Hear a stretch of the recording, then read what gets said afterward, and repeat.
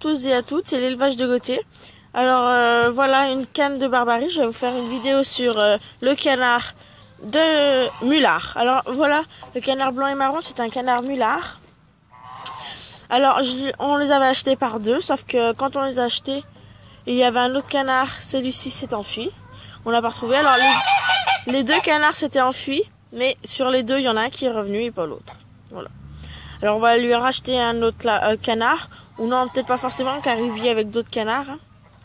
Voilà alors le canard mulard, c'est un canard qui ne fait pas de bruit. Il ne fait pas coin coin, il ne fait pas de bruit. Alors euh, c'est pour ça qu'on l'utilise souvent pour euh, dans les foie gras.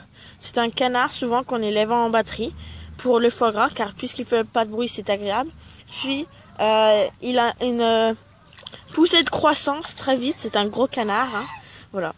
Alors le canard mulard, il est souvent blanc avec des taches noires. Voilà. Euh, ça se trouve dans les fermes, euh, voilà. Dans les élevages. Alors il évolue dans un grand terrain. Voilà. Avec euh, d'autres congénères. On, les a fermés là dans l'enclos parce que pour bien relaisser pousser l'air. Voilà tout. Alors j'espère que cette vidéo vous aura plu. N'hésitez pas à me poser des questions. J'y répondrai avec grand plaisir. Merci, bonne soirée, au revoir.